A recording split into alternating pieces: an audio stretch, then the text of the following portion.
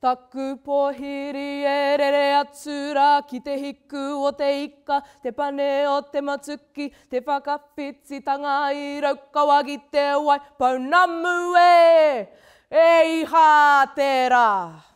Nei rā te mihi ki a koutou, kua peka mai, kua kake mai, ki a Tamara hoki, i tēnei whare whakaruru hau e tuaki nei, i te wā kia whakanuitia i te rā matariki, ki te tautoko hoki, i te kaupapa kōrero, o te whakakotaitanga, o tēnā, o tēnā o ngā hurei.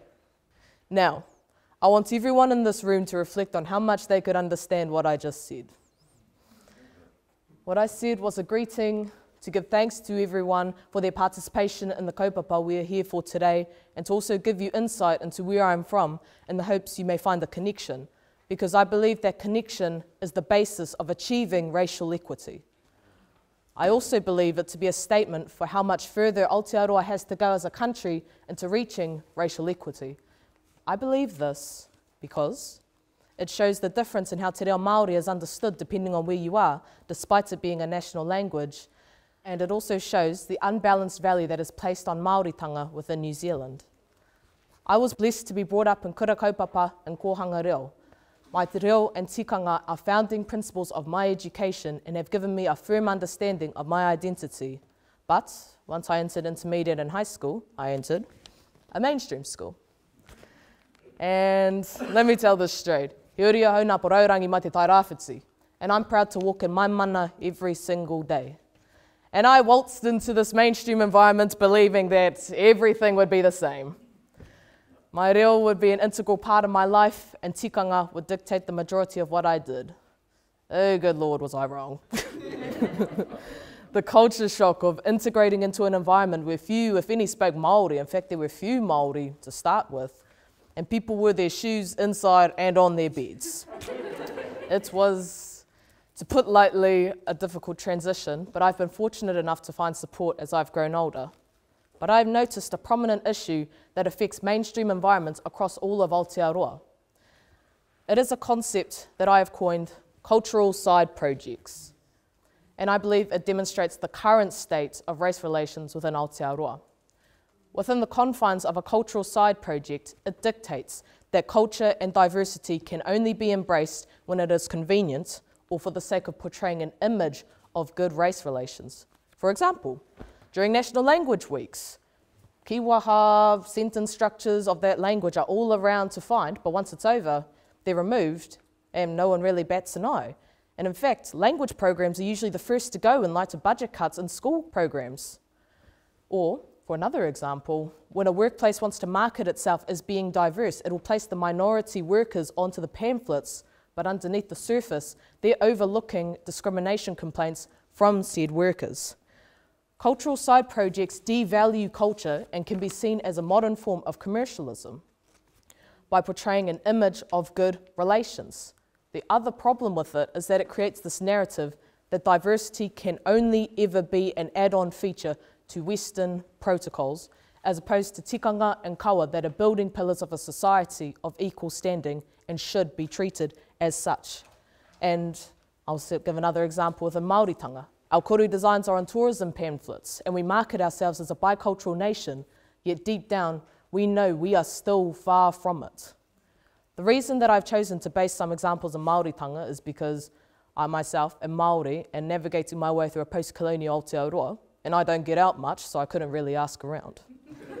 but, and I wanted to be here today to bring forward these hara that we are facing across the rohe. I believe the analogy this year o ngā mati mati o te ringa kotahi is the perfect theme of how we can approach change, in the sense that it means one finger alone, that ain't gonna do much, but all fingers together of one hand can come together to complete any task just in the way a hand was meant to be used. Just in the way that in Te Ao Māori, we always find a connection mai te hiko te ika ki te waipaunamu, we are all as one and we will strive together as one. I te tuatahi, me timata mārunga. The first major step would be to achieve true equality within our political institutions, beginning to not only value the treaty, but to honour te treaty. Mana taurite and pātuitanga are key principles of te treaty. And this not only applies to Pākehā and Māori relations, but to anyone that steps foot within Aotearoa, Because under Te Tiriti, everyone is protected as tangata tiriti and are meant to coexist with tangata whenua, beginning to not only embrace oral teachings and Māori perspective of whakawhanaungatanga and collectivism, and value it in the same way we value Western teachings will break this narrative of Maori Māoritanga only being an add-on feature within New Zealand.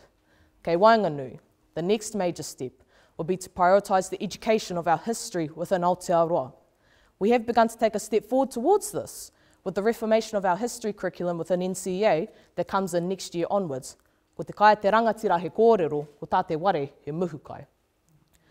Education is an effective tool since it distills ignorance and opens up conversations between peers. And sadly, ignorance is still a prevalent issue that holds many further back. Just last year, I had to work for over six months with my school to establish a policy that would allow taonga to be worn alongside the uniform. I went through the proper protocols. I wrote a written proposal. I submitted it to the Board of Trustees. I waited to have it approved by the Board of Trustees, and I waited even longer to have it approved by staff. This process took so long because they attempted to approach it as if it was just another piece of jewellery to put alongside the uniform, as opposed to a piece of taonga, a taonga tuku iho that holds its own mauri and whakapapa. This demonstrated to me that there was a lack of pātuitanga with Māori tikanga on an institutional level, and what affected me was the fact that its value was diminished. And I knew that if the proper teachings were present and the proper pātuitanga was present, I would never have had to go through that. I still got in the newsletter though. All these changes so far include changes to our institutions, but that isn't quite everything. At the end, ki te mutunga, societal change, individual change must occur as well. Now, as individuals, it's a large task to tackle racism, I will admit, but a start can be made in being intolerant towards intolerance. In the words of Angela Davis, it's not enough to be non racist, we must be anti racist, meaning we must consciously stand against it. Showing concern for one another builds care and tolerance, which overcomes the toxic force of bigotry. And when we as a whole are striving for racial equity, it is a primary obstacle we must overcome together. Hei tā papa anaru tō te rewa kupinga, aroha ki te tangata, aokua kōwai te tangata. Aroha is an all-encompassing term that references the feelings of trust, honesty, and as we all know, love. By embracing this old tikanga, I believe that societal change and individual change is possible. I hope that in the future, we as a collective will continue to strive for racial equity and that in the future, which hopefully isn't too far away, we will no longer view culture as just a side project, but as a gift we wish to care for and nurture. Ka ora au i a koe, ka ora pē koe i au. Tēnā koutou, tēnā koutou, tēnā rā tātou katoa.